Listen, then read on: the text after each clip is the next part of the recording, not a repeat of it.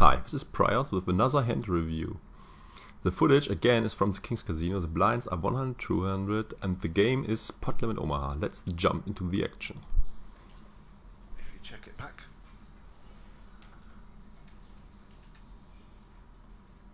Oh, Lisandro with aces. Has he got double suited? Nope.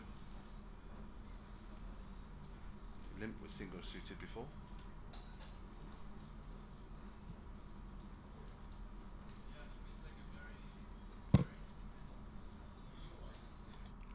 Lisandro again setting the trap with his aces. I also got the other hand where he's limp raising aces on tape. Feel free to check this out as well. Seems like he really loves to go for the limp re-raise with his ace-ace. I don't hate it to limp in with weak aces. If you got a, li uh, a limp in your arsenal. I definitely raise good aces all, always. And in general, I am not an advocate of limp of limping. I just limp behind. I think that's fine. Basically, I personally never limp first to act. Although limp re-raising gets a ton of money in, it also puts your hand face up. So if you do this play, you should get most of your stack in pre-flop, because otherwise your opponents can play perfectly against your hand by just calling and looking to outflop you. But this play only works if there is actually play behind. That means money behind. So if you do this limp re-raise game with aces only, look to get most of your stack in pre-flop. Oh, Leon's back. Look at this hand. Marmorstein's got a nice hand in the straddle. So a limp from is expected with single suited ace. Leon's got a hand that he'd raise with normally. Makes it 1900. Folded round. Marmorstein a call with this hand. Lisandro want to build a pot. No, he wants to try and trap Leon by flopping a set or flush draw. And if he did have the clubs, he would get paid off.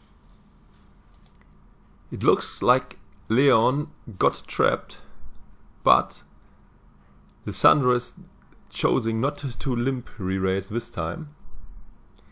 I actually like it because you don't want to put your cards face up right away if there's enough play left as I mentioned before. Between them, they got six of them. Look at this. He's flopped top set again.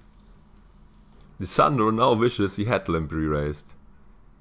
He made top set. Let's see if he continues to trap by just checking.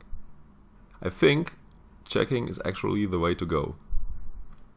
Although betting out is an option as well, but I like checking. Checking it to Leon, hoping he'll bet it. Didn't fall for it Unfortunately for him, it gets checked through. this time. Uh, Leon's going to love that turn card. Up and down, flush draw. Now he bets out. It's okay, although checking again makes sense as well. No one of your opponent showed strength so far, and we got the board crushed really hard. I like a check more, because I would guess Leon can't withstand the temptation to bet out now after it gets checked to him twice, regardless of his holding.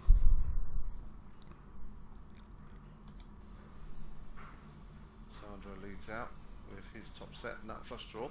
It'll all go in here. Can't believe Leon just flat here. He must think that's a gin card for him. Yeah. He does. He just flats. We know obviously if a club comes it's going in. Leon hits a nice turn for his hand as well. Against a passive opponent like Lisandro, I like his line of play. Just calling is the best choice here.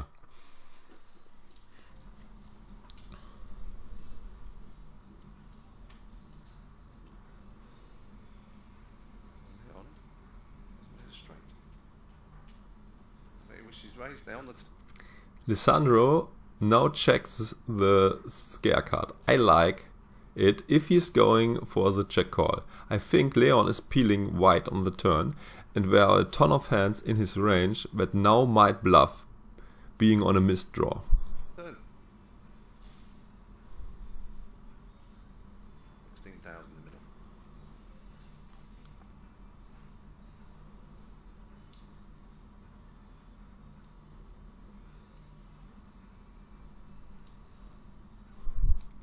What the fuck?